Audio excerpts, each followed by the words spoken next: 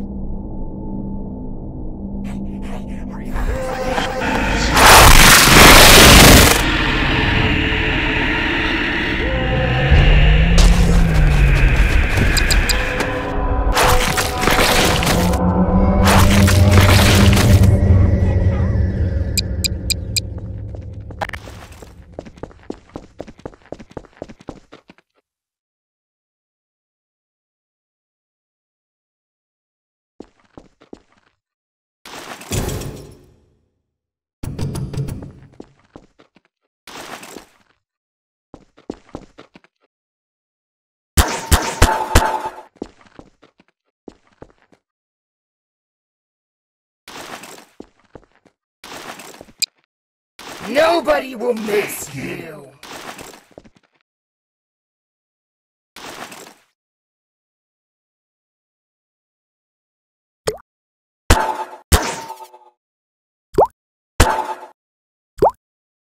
You can hide. Sneak away, little coward.